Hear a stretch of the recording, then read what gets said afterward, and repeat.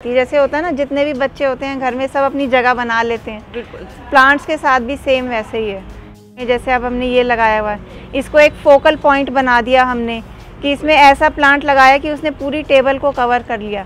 अब ये प्लांटर भी सुंदर और प्लांट भी भी सुंदर। अब जैसे आप यहाँ देख रहे हैं हमने बैकग्राउंड में सब बड़े बड़े प्लांट्स और बड़े बड़े पॉट्स लगाए हुए हैं। और नीचे सब एनिमल शेप के और बॉटल शेप के छोटे छोटे प्लांटर्स हैं। अब इसमें क्या होता है, जैसे मान लो कभी तेज़ बारिश आती है या आंधी आती है तो वो छोटे वाले प्लांट्स बचे भी रहते हैं। फिर वैसे कहते हैं कि कैक्टस घर में नहीं होना चाहिए बट वास्तु के हिसाब से अगर आप लगाना चाहते हैं तो वो साउथ वेस्ट डायरेक्शन में अगर आप कैक्टस लगा रहे हैं तो वो इतना हार्मफुल नहीं है। साथ में आपने बड़ी अच्छी चीज़ बताई कि अब वो वक्त भी आ गया है मैम का कि जब आप पौधे हम आगे देना- स्टार्ट कर रहे हैं। हाँ तो उसके लिए इतना खूबसूरती से जो मैनेज आपने किया है वो बहुत ही बढ़िया चीज़ है।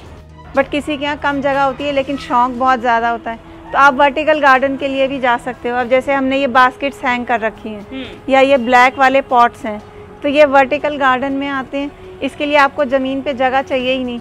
आप अपना शौक ऐसे ही टांग के पूरा कर सकते हैं। नमस्कार दोस्तों, मैं Anju Singh unique farming channel पर एक बार फिर से आपका स्वागत है। तो दोस्तों जो पौधे होते हैं, वो खुद में एक बड़ी ही खूबसूरती बटोरे होते हैं। चाहे सिर्फ़ उन पर पत्तियाँ आ रही हों, चाहे वो क्यों ना कैक्टस ही क्यों ना हो, चाहे वो कांटों वाले ही पौधे क्यों ना हो।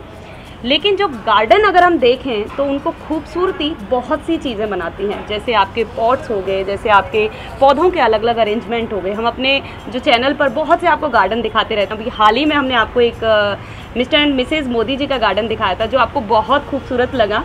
तो आज हम उनसे मिलने वाले हैं और कुछ ऐसे टिप्स जानने वाले हैं कि किस तरीके से गार्डन को और भी ज़्यादा खूबसूरत बनाया जा सकता है। तो देरी ना करते हुए मिलते हैं मिसेज मोदी जी से और लेते हैं गार्डन को खूबसूरत बनाने के टिप्स। इससे पहले यदि अभी तक आपने अपने YouTube चैनल यूनिक फ़ार्मिंग को सब्सक्राइब नहीं किया है तो अभी सब्सक्राइब करें साथ ही बेल आइकन भी दबाएँ ताकि आगे आने वाली वीडियोस की नोटिफिकेशन आपको मिलती रहे। नमस्कार मैम। जैसा कि हमने पिछली वीडियो में दिखाया था कि बेहद खूबसूरत आपका गार्डन है। तो बहुत से ऐसे दर्शक थे जिनके मन के अंदर ये भी आया कि काश हमारा गार्डन भी इतना खूबसूरत हो। तो मैं ज़रूर चाहूँगी कि आप हमें कुछ ऐसे टिप्स दें जिनकी मदद से हम अपने गार्डन को और भी ज़्यादा खूबसूरत बना सकते हैं। देखिए सबसे पहले तो आपके अंदर ये होना चाहिए कि हमने पौधे लगाने हैं। उसके बाद सब सेटिंग होती जाती है। फिर तो वो कहते हैं ना एक के बाद एक एक के बाद एक रास्ता जैसे निकलता जाता है। तो ऐसे प्लांट्स आप लाना शुरू करो। उसके बाद सेटिंग सब अपने आप हो जाती है। जैसे होता है ना जितने भी बच्चे होते हैं घर में सब अपनी जगह बना लेते हैं। बिल्कुल। प्लांट्स के साथ भी सेम वैसे ही है। तो आपको ये होता है कई बार कोई प्लांटर सुंदर लगता है कभी कोई प्लांटर सुंदर लगता है आप ले आते हो। फिर आप उसको सेट करो अकॉर्डिंगली कि भाई हाँ इस प्लांटर में जैसे अब हमने ये लगाया हुआ है इसको एक फोकल पॉइंट बना दिया हमने कि इसमें ऐसा प्लांट लगाया कि उसने पूरी टेबल को कवर कर लिया। अब ये प्लांटर भी सुंदर और प्लांट भी सुंदर। तो ऐसे ही हर जगह आप प्लांट्स भी रख सकते हो लेकिन थोड़ी सी बस मैनेजमेंट फिर आपको बाद में करनी पड़ती है जब आपके पास आठ दस प्लांट्स हो जाते हैं। तो मैं आपको दिखा देती हूँ कि हमने कैसे कैसे मैनेज किए। जी बिल्कुल बिल्कुल। आइए। अब जैसे आप यहाँ देख रहे हैं हमने बैकग्राउंड में सब बड़े बड़े प्लांट्स और बड़े बड़े पॉट्स लगाए हैं और नीचे सब एनिमल शेप के और बॉटल शेप के छोटे छोटे प्लांटर्स हैं। अब इसमें क्या होता है जैसे मान लो कभी तेज़ बारिश आती है या आंधी आती है तो वो छोटे वाले प्लांट्स बचे भी रहते हैं। और अगर आप ऐसे वॉक करते हुए देखोगे तो वो आपको दो दो प्लांट्स एट अ ग्लांस दिखाई देते हैं। तो वो एक अलग खूबसूरती देते हैं। जैसे हमारे पास ये एक वॉल थी खाली थी। पहले हमने ये ब्लैक प्लांटर लगाए। तो उसमें हमें लगा कि कुछ मिसिंग है। जैसे कहते हैं ना दिल मांगे मोर। हाँ। तो फिर हमने ये ऐसे विंडो टाइप ये बनाए ग्रूव्स इसमें हमने ये प्लांट्स लगाए। अब ये हमारी एक तरह से कैक्टस वॉल है। जी। तो इसमें आप देख रहे होंगे ऊपर सब बुद्धा थीम में कैक्टस लगे हुए हैं। फिर वैसे कहते हैं कि कैक्टस घर में नहीं होना चाहिए बट वास्तु के हिसाब से अगर आप लगाना चाहते हैं तो वो साउथ वेस्ट डायरेक्शन में अगर आप कैक्टस लगा रहे हैं तो वो इतना हार्मफुल नहीं है। ये एक अच्छा टिप्स मैम ने हमें दिया कि अगर आपके गार्डन में कोई भी वॉल है तो आप उसका बड़ा अच्छा इस्तेमाल कर सकते हैं गार्डन को और भी ज़्यादा खूबसूरत बनाने में जैसा कि इन्होंने यहाँ पर किया है। अब ये एक बात और मैं बताना चाहूँगी कि अब जैसे हमने इस वाली वॉल को कैक्टस के लिए डेडिकेट कर रखा है तो अब जैसे ऊपर से लेकर नीचे तक जहाँ भी आपकी नज़र जा रही है सब जगह कैक्टस हैं। अब जैसे आप इस वॉल पर देख रहे हैं हमारे वैसे गार्डन का बेसिक बुद्धा थीम है। हाँ। आप जहाँ भी देखोगे कुछ ना कुछ बुद्धा वाला मिल जाएगा जैसे ये स्कल्पचर्स हैं। ये बुद्धा के हैं या ये पॉट्स हैं प्लांटर्स हैं ये सब बुद्धा वाले हैं हमारे यहाँ। तो आप डेकोरेट तो किसी भी तरह से कर सकते हो। अब ये पीछे जैसे सर्कल है आयरन का ये भी एक डिज़ाइन है।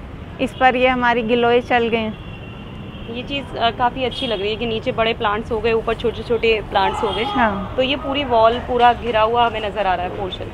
अब जैसे आप ये देख रहे हैं हमारी छत इतनी बड़ी है लेकिन फिर भी हमारे प्लांट्स को हम लिमिट करना चाह रहे हैं। क्योंकि अब ये है ना कि अब जैसे हमारे बिल्कुल हर एक कॉर्नर पे प्लांट्स लग चुके हैं। अब हम इससे ज़्यादा अगर रखेंगे तो हमें चलने की भी जगह नहीं मिलेगी। तो बेसिक एम यही होना चाहिए कि हम चलें भी आराम से और प्लांट्स भी हमारे आसपास रहें।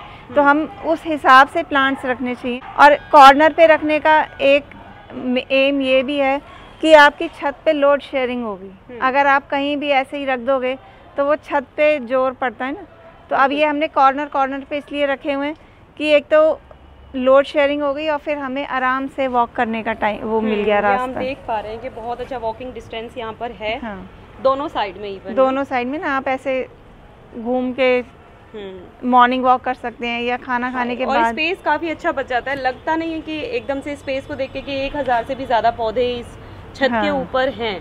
आप अच्छा मेंटेन भी कर पाते हैं। और साथ में आपने बड़ी अच्छी चीज़ बताई कि अब वो वक्त भी आ गया है मैम का कि जब आप पौधे हम को आगे देना- देना स्टार्ट कर रहे हैं। हाँ तो उसके लिए इतना खूबसूरती से जो मैनेज आपने किया है वो बहुत ही बढ़िया चीज़ है। ये देखिए आप इस ब्रिज के नीचे हमने इतने हैंगिंग्स लगा रखे हैं। जैसे ये बेल्स हो गई ये विंड चाइम्स हो गए ये है ना ये हमारे यहाँ पूरे नीचे तक भी आवाज़ आती है इसकी। जब हवा चलती है तो हमें इसी से पता चल जाता है आज तेज़ हवा चल रही है। अब ये डक्स हैं ये हमने इस पे रखी हुई हैं बट इसको हमने वायर से बाँध रखा है ताकि ये नीचे ना गिर जाए। अगर ये गिरेगी तो ये तो टूटेगी टूटेगी नीचे वाला भी टूटेगा। जी। कईयों के घर में जगह कम होती है। हम्म। हमारी तो चलो अच्छी भली जगह है बट किसी के यहाँ कम जगह होती है लेकिन शौक बहुत ज़्यादा होता है। तो आप वर्टिकल गार्डन के लिए भी जा सकते हो। अब जैसे हमने ये बास्केट्स हैंग कर रखी हैं हम्म। या ये ब्लैक वाले पॉट्स हैं तो ये वर्टिकल गार्डन में आते हैं। इसके लिए आपको ज़मीन पे जगह चाहिए ही नहीं। आप अपना शौक़ ऐसे ही टांग के पूरा कर सकते हैं। जैसे हमने जगह जगह बैठने का अरेंजमेंट करा हुआ है तो उसमें हर मौसम के हिसाब से, अब जैसे ओपन सिटिंग थी जहाँ हम अभी बैठे थे, उसके अलावा हमने ये झूला रखा हुआ है। अब जैसे कभी बारिश आ रही हो, आप इस पर बैठो तो आपको सामने का व्यू इतना अच्छा लगता है, इस पर बैठ के बारिश का भी मज़ा ले रहे हो। और आपका सामने का व्यू पूरा इतना अच्छा लगता है बारिश में। ये हुई भाई वाह वाली बात। बहुत ज़्यादा खूबसूरत यहाँ से देखने में भी बड़ा खूबसूरत लग रहा है। बहुत ही सुंदर ये चीज़ें जो अरेंज आपने की है मैम वही जो वजह है इस गार्डन के इतने ज़्यादा खूबसूरत देखने की। आपने देखा होगा दोस्तों कि बहुत ज़्यादा रेयर प्लांट्स नहीं है यहाँ पर कुछ अ, सीमित प्लांट्स हैं लेकिन बहुत ही अच्छे तरीके से उन प्लांट्स को अरेंज किया गया है। उनको एक निश्चित जगह दी गई है वॉकिंग डिस्टेंस बनाया गया है। कुछ ऐसी चीज़ें यहाँ पर जो हैंगिंग्स हैं वो यहाँ पर लगाई गई हैं कुछ डेकोरेटिव पीस यहाँ पर रखे गए हैं। इसके साथ ही जो यहाँ पर प्लांटर्स हैं वो भी एक थीम पर हमें यहाँ नज़र आ रहे हैं। और वही जो बड़ी वजह है इस गार्डन के इतने ज़्यादा खूबसूरत होने की और बहुत ही शानदार बहुत ही आसान से टिप्स आपने दिए हैं जिनकी मदद से हर कोई अपने गार्डन को बिल्कुल। अच्छे से जो मेंटेन कर सकता है और भी ज़्यादा खूबसूरत बना सकता है। और मैम ने दो तीन चीज़ें ऐसी भी बताई हैं कि अगर आपके यहाँ स्पेस भी कम है तो भी आप उन्हें बहुत सुंदर बना सकते हैं। तो दोस्तों, मुझे लगता है कि यहाँ से आपको बहुत सी ऐसी टिप्स मिल चुकी हैं, जिनकी मदद से आप आसानी से अपने जो गार्डन को बहुत ही ज़्यादा खूबसूरत बना सकते हैं। तो मुझे लगता है कि ये वीडियो आपको ज़रूर पसंद आई होगी तो वीडियो को लाइक और शेयर करना ना भूलें और हमारे चैनल को सब्सक्राइब करें। धन्यवाद।